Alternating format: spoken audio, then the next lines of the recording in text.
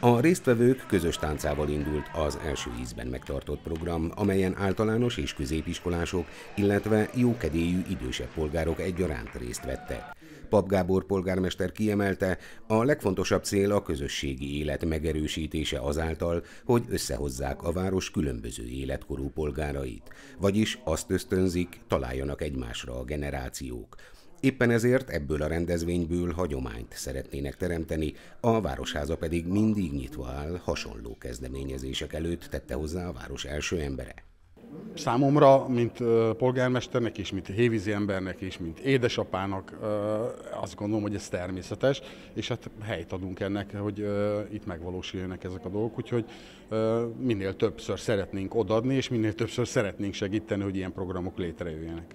Az ötletgazda Soborné Mosolygó Liám leszögezte, országosan példaértékű ez a kezdeményezés. Szerinte a generációk közötti kedvességhíd azért fontos, hogy megismerjék, megszeressék és tiszteljék egymást, mert ez a mai világban rendkívüli érték. Megkértük az iskolákat, hogyha ők is szívesen ezen a kedvesség hídon közelebb kerülnének hozzánk, ezzel építve városunk közösségét és a jó hangulatot, jó kapcsolatot, akkor tartsanak velünk, és ők nagyon vevők voltak rá, a mai műsor is ez bizonyítja.